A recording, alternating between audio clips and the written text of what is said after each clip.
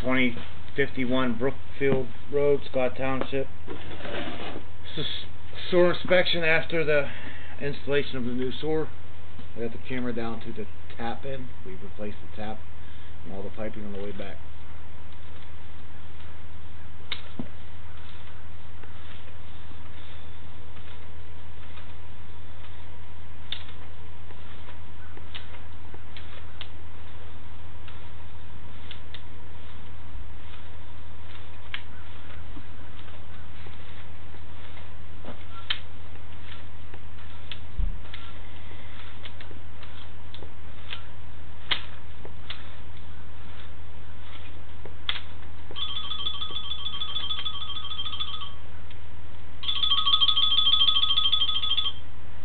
Hello.